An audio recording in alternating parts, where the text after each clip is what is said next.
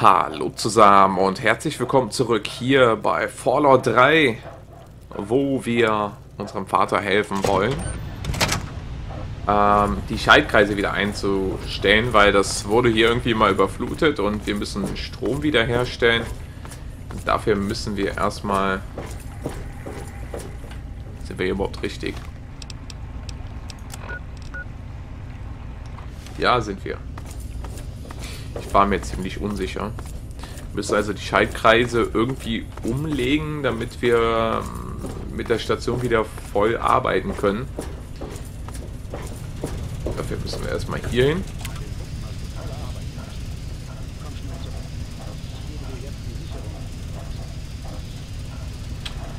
Oh Gott, jetzt müssen wir wieder hoch. Ähm, die Sicherung beschaffen. Die hätten wir auch gleich mitnehmen können, aber gut. Wusste ja vielleicht vorher nicht, dass, dass es da kaputt ist. Na gut, jetzt gehen wir wieder hoch zu Papa, holen die Sicherung, gehen wieder runter, setzen die Sicherung ein. Ist natürlich ein doofes Hin und Her.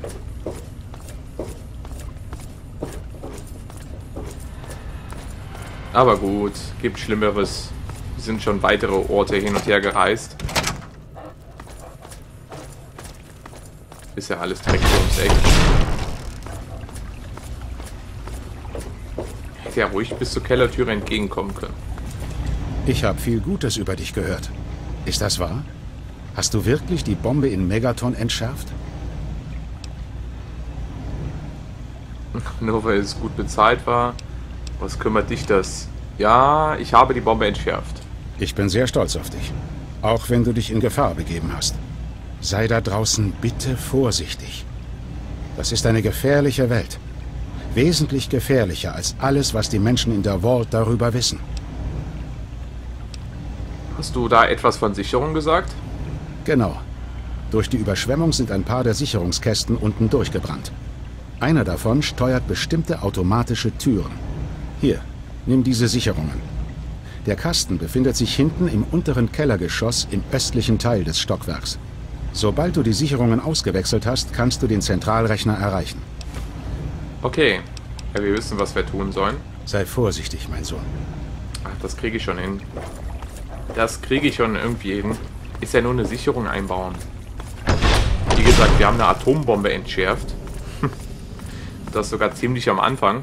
Was total unlogisch ist, dass wir aus der Vault rauskommen und mal eben eine Atombombe entschärfen. Aber gut, hey. Jetzt wollen wir erstmal gucken, dass wir wieder die Maschinerie zum Laufen bekommen. Das ist jetzt momentan das Wichtige. Wir müssen also am östlichen Teil, das ist, naja, hier auf der Karte eher der nordwestliche Teil. Aber gut, da gehen wir mal hin. Das müsste, ich bin einmal falsch gegangen, ich hätte auch andersrum gehen können. Naja, gehen wir halt so rum. Halb so wild. Hier haben wir die Sicherung.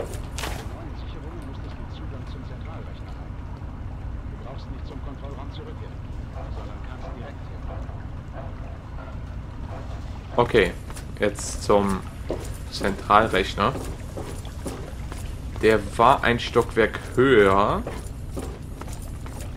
Auf der gegenüberliegenden Seite direkt. Das war die Türe, die verschlossen war vorhin. Beziehungsweise für euch in der letzten Folge, glaube ich. Ja, hier.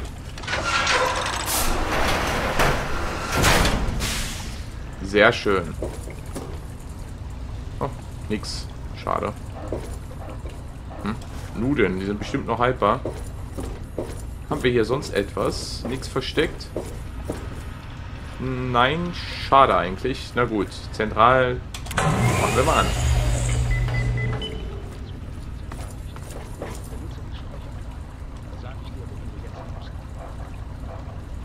Hier im Kontrollraum gibt es noch ein paar Kleinigkeiten zu reparieren.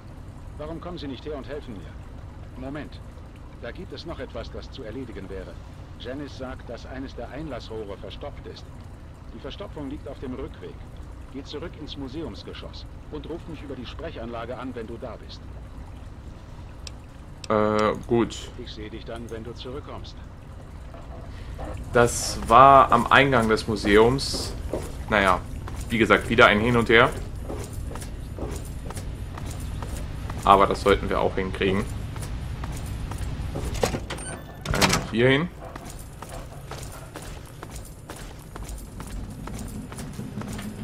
Wo ist der denn auf einmal hergekommen? Auf einmal aufgeploppt. Hallo. Ja, du mich auch. Hallo. Und dann wieder so unfreundlich zu uns sein. Da hinten haben wir das Rohr. Hier.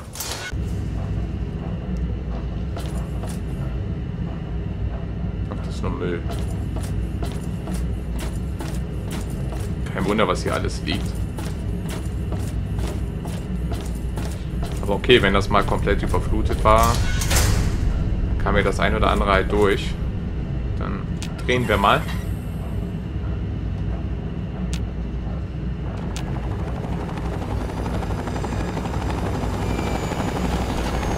Oh. Zwei Vertibirds.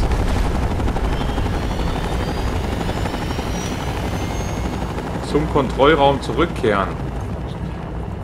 Bewaffnete Gegner. Das ist nicht so gut. Ich wähle mal eine andere Waffe aus. Oh, wir kommen da nicht durch. Oh Mann, jetzt müssen wir einen komplett anderen Weg dahin gehen.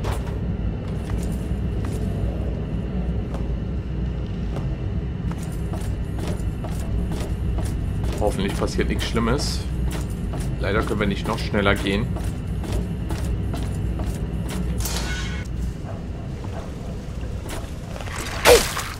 Ah, und da werden wir schon beschossen.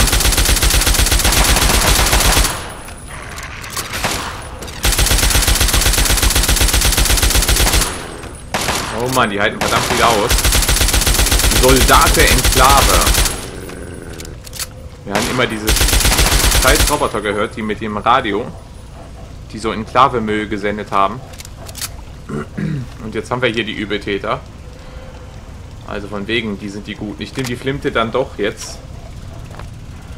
Weil unsere jetzige Waffe, der Infiltrierer, ist nicht so gut. Da brauchen wir wohl stärkere Geschütze. Okay, das Gauss-Gewehr könnte auch Abhilfe verschaffen.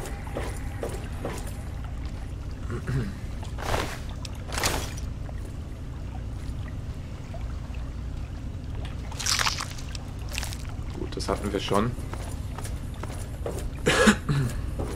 So, dann wollen wir mal auf nach oben.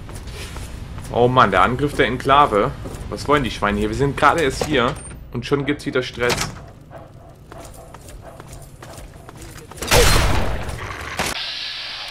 Warte ab, mein Freund. Ja, komm, schieß. Nochmal.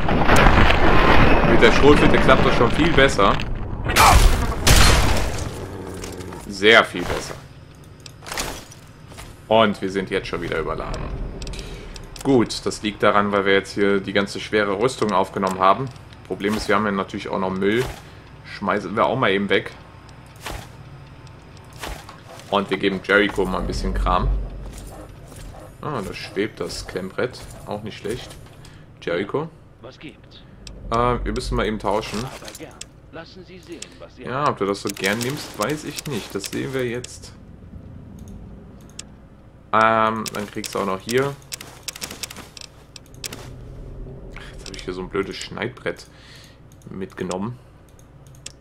So, kriegst du noch ein paar Waffen. Halt mal Impulsmine, Jacke, wir behalten wir mal Plasmagewehr, das ist natürlich richtig nice. Okay, mehr kann er nicht tragen. Dann ciao. Und er hat die Ausrüstung gewechselt, das ist besser für ihn. Sonst hätte er das nicht angezogen. Also noch bessere Rüstung, das ist natürlich schön einerseits, aber schade um die andere. So, das Plasmagewehr repariert. Das können wir dann nutzen. Ich gehe erstmal zu unserem Dad. Im Namen des Präsidenten wird diese Anlage hiermit unter die Kontrolle der Regierung der Vereinigten Staaten gestellt. Wer ist der zuständige Leiter hier? Treten Sie vor und übergeben Sie mir sofort das gesamte Material des Projekts. Das ist kaum möglich. Das ist ein privates Projekt, außerhalb der Zuständigkeit der Enklave. Ich möchte Sie daher bitten, sich sofort zurückzuziehen. Gehe ich richtig in der Annahme, dass Sie hier verantwortlich sind? Ja, ich zeichne für dieses Projekt verantwortlich. Ich wiederhole. Hiermit befehle ich Ihnen, alle Materialien im Zusammenhang mit dem Aufbereiter auszuhändigen. Es tut mir leid, aber das... Darüber hinaus werden Sie die Enklavenwissenschaftler unterstützen, die Kontrolle über die Verwaltung und den Betrieb dieser Anlage zu übernehmen. Colonel, Sie sind doch Colonel. Tut mir leid, aber die Anlage ist nicht in Betrieb. Das war sie nie. Ich fürchte, Sie verschwenden nur Ihre Zeit. Zum letzten Mal treten Sie sofort ab und übergeben Sie uns die Kontrolle über diese Anlage. Colonel, ich versichere Ihnen, dass diese Anlage nicht funktionieren wird. Es ist uns nicht gelungen, die Testergebnisse zu wiederholen. Ich schlage vor, Sie fügen sich umgehend, um weitere Vorfälle zu vermeiden. Haben wir uns verstanden? Ja, Colonel. Ich mache, was immer Sie wünschen. Es wird keine weitere Gewalt notwendig sein. Dann händigen Sie uns alle Materialien im Zusammenhang mit diesem Projekt unverzüglich aus und unterstützen uns bei der sofortigen Inbetriebnahme. Nun gut. Ich brauche nur ein paar Minuten, um das System hochzufahren.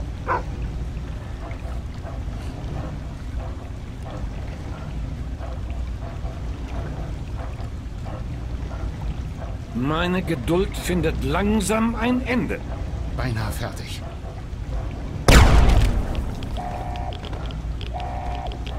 Oh nein. Weg. Schnell weg. Diese Konsole ermöglicht die Einspeisung zusätzlicher äh, Filtermedikamente. Nein. Nein.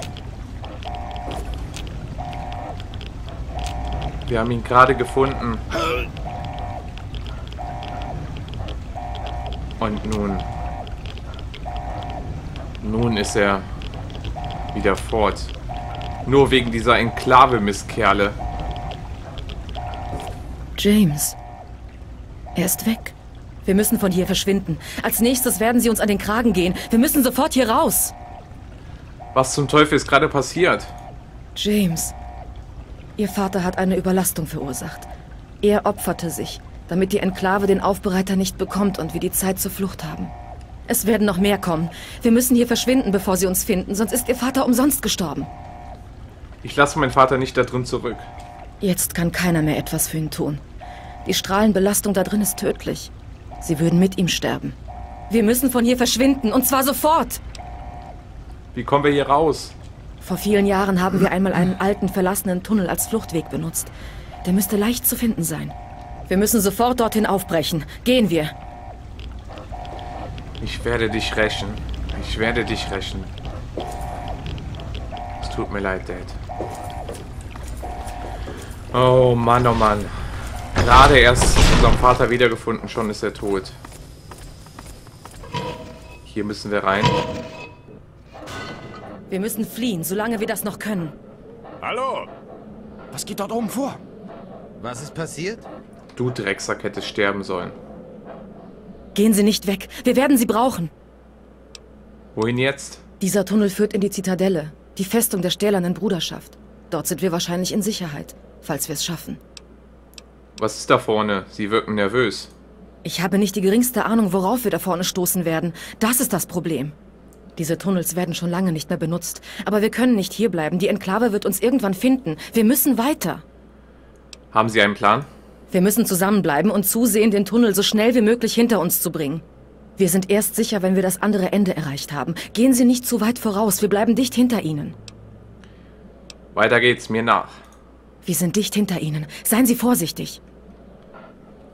Okay, ich speichere mal. Da wollen wir noch mal schauen, was uns hier erwartet. Fleisch und auf jeden Fall blöde Musik, die wir nicht brauchen. Enklave-Auge. Stimpaks. Nehmen wir natürlich mit. Na toll. Der Ausgang ist hinüber. könnten wir noch mitnehmen. Hier ist nur radioaktiver Müll, wie ich das sehe. Wir hören Helikopter oben.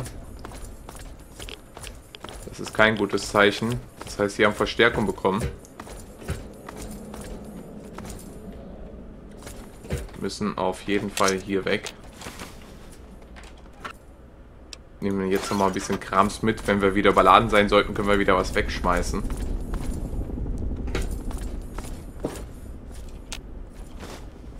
Ähm, gut, nehmen wir auch mal mit. Nichts von Interesse.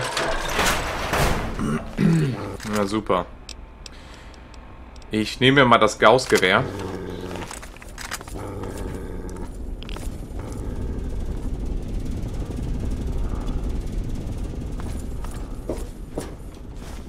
Lego anbissen. Und jetzt eines meiner anspornenden. Jetzt nicht mehr. John Henry Eden, wollte er sagen. Diese Drecksenklave. Da vorne ist eine verschlossene Tür. Ja, geht schon mal vor. Ich schaue mich hier mal kurz um.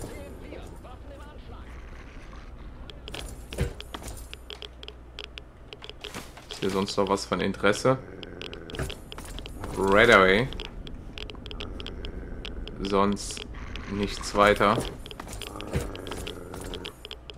Noch ein Stift. Gut, den haben wir dabei. Das war jetzt wichtig. Na gut, dann schauen wir mal nach, ob wir die Türe da hinten öffnen können. Für die Herren.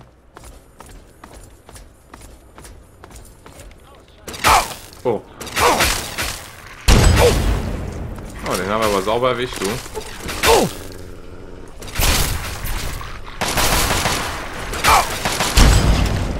Oh, den haben wir erledigt. Gaussgewehr ist da richtig gut. Lass wir haben einen Hund in Ruhe. Wie viele sind denn hier noch? Alter Schwede.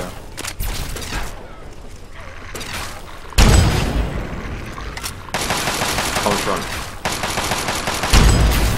Na, Mist. Ist ja auch noch... Alter, wie viele sind denn da noch? Ah! Den hätten wir. Na, Kopf verkrüppelt, aber noch nicht tot. Der ist auch noch nicht tot. Gibt's doch gar nicht. Wie halten die denn aus, verdammt? Den haben wir verfehlt.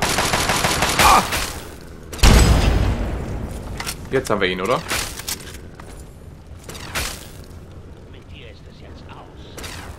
Komm, zeig dich.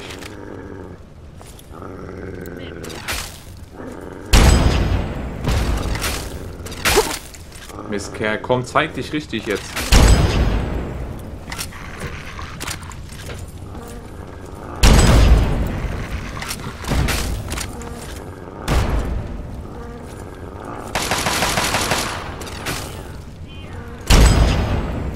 Ah, Mist.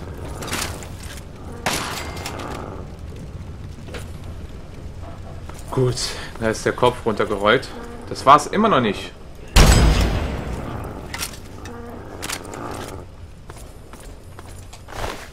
Mann, Mann, Mann. Oh, das wollte ich jetzt nicht. Das war ja aus Versehen. Aber... Ach, der Jericho hat die ganzen Granaten, oder? Hast du noch Granaten? Nein, er hat die natürlich jetzt alle weggeschmissen. Super. Weil da oben kommen wir nicht hoch, sonst würde ich da eine Granate hinschmeißen. Damit die Körperteile zerfetschen, äh, zerfetzen. Mein Gott. Dass wir dann Gulasch hier unten haben und äh, die Sachen mitnehmen können von der Enklave. Weil so kommen wir sonst nicht an die Dinge heran. Chinesische Overwall. Interessant. So, jetzt aber erstmal hier reparieren, sofern es geht. Und hier auch vor allem mal das Bleirohr kann weg. Infiltrierer brauchen wir nicht weiter reparieren. Lasergewehr auf jeden Fall mal. Sturmgewehr brauchen wir auch nicht wirklich reparieren. Pümpel kann weg. So, dann schauen wir mal. Ich mach mich aus dem Staub.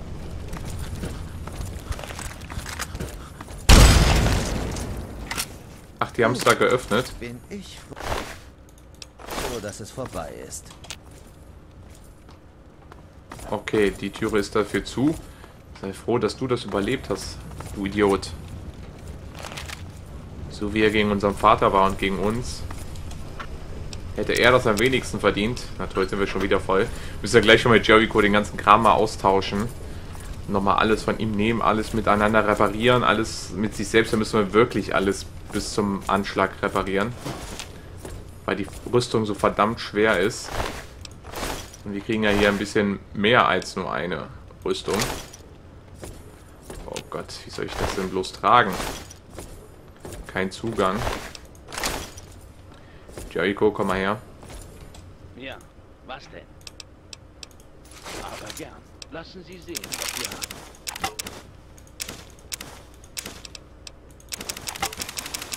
Nein, Stimpaks darfst du behalten. So, den restlichen Kram noch. Gib mir auch mal diese Rüstung. Oh, Jericho mal wieder so zu sehen, ist ja auch mal was ganz anderes. Jetzt auf jeden Fall erstmal diesen ganzen Kram miteinander reparieren. Ah, die Powerrüstung der Enklave ist schon richtig gut. Muss man schon sagen.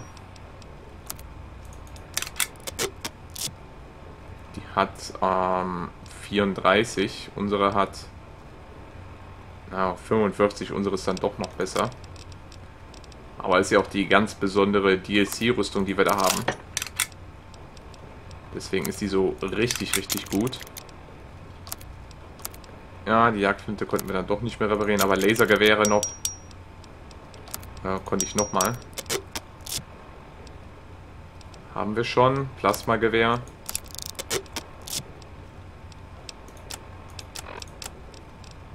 So, Schneidbrett kann auch noch weggeschmissen werden. So, Jericho, jetzt kriegst du erneut die Ausrüstung. Aber gern. Lassen Sie sehen, was Sie haben.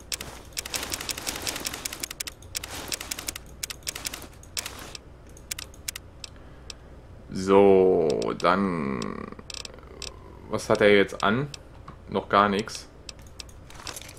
Aber jetzt hat er das an. Dann soll er mir nochmal eben den anderen Kram geben.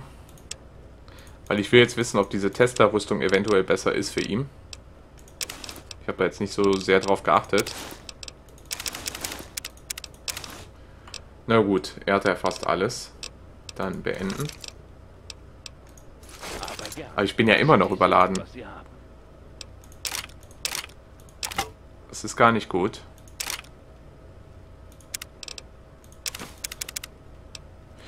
Oh Gott, das ist überhaupt nicht gut.